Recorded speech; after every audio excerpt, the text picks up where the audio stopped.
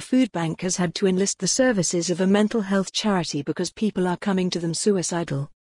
More than 100 people a week are supported by the charity, sometimes double that as demand for help increases. Drumchapel Food Bank said it has noted a variety of people coming and more and more affected by benefit changes like universal credit. Liz Atkinson, food bank manager, said people are in serious despair and are suicidal. The food banks has enlisted the service of Cope Scotland, a specialist mental health support service.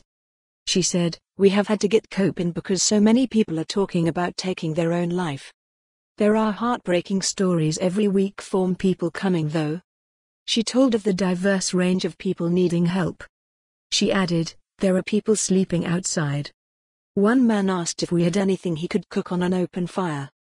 I was worried his electricity was cut off and he was going to light a fire inside. But he was sleeping outside and cooking on a campfire. Ms. Atkinson said the community is trying its best to help those in need. She added, It is horrific we refer people to money advice for benefits checks. We have had people who we have been supporting for a year or more because of sanctions and benefit delays. We will provide support until it is sorted. We are seeing school refer to use when teachers notice problems with the children. In the four years the food bank has been open, she has noticed a change. She added, It is mostly families now, whereas before it was mainly single men with benefits issues. Read more Glasgow City Council agrees final funding deal to cover equal pay settlement.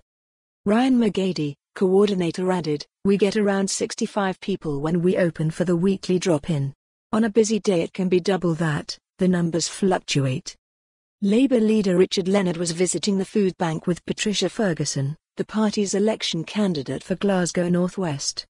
Ms Ferguson, a former Labour Maryhill and Springburn MSP said communities were stepping in to support those most in need. She said, People are ashamed and angry that food banks exist in their communities. There are increasing issues with the benefit system, with people experiencing long delays.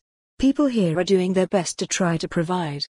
She added, People are conscious of Brexit and have views on Brexit, but most people understand the issues like poverty are all too prevalent in their communities.